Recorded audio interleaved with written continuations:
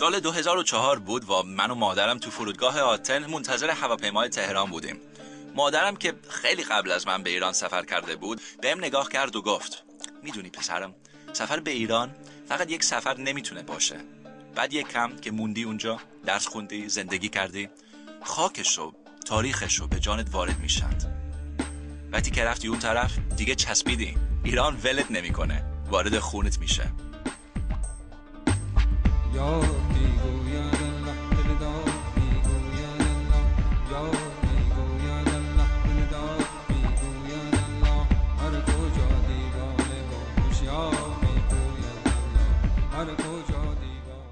My mother was right.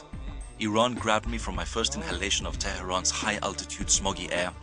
As we battled evening traffic in Meidune Azadi, Iran grabbed me when I would walk through North Tehran at night and hear the sound of water rushing in the Rudkhunes that plowed down from the mountains and raced through the cities, swirling the jupes and water the trees growing helter-skelter from the riversides.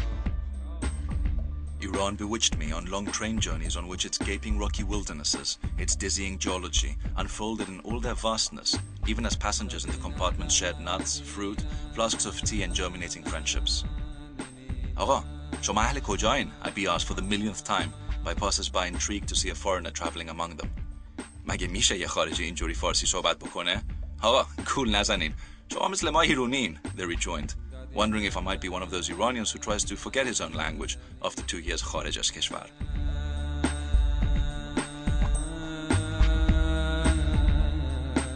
Beautiful as Iran's frosted winterscapes, baking plains, and undulating deserts are, nowhere did I feel as comfortable as when embraced by complete anonymity in the commercial arcades around Enqilab or Haftatir, dipping through second-hand books or stopping at a chai khune for a khanyun and a kahve turk.